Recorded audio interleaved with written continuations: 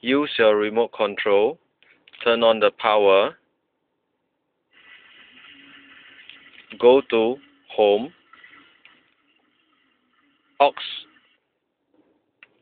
use your remote control, press 8, arrow up, 9, followed by Enter. Screen will display. Use SEL on remote control to select to radio USA 1. For Mexico will be USA 2.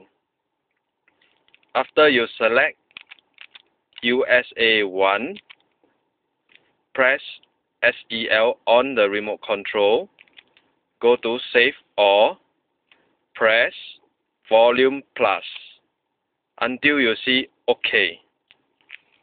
Power off using remote control and power on.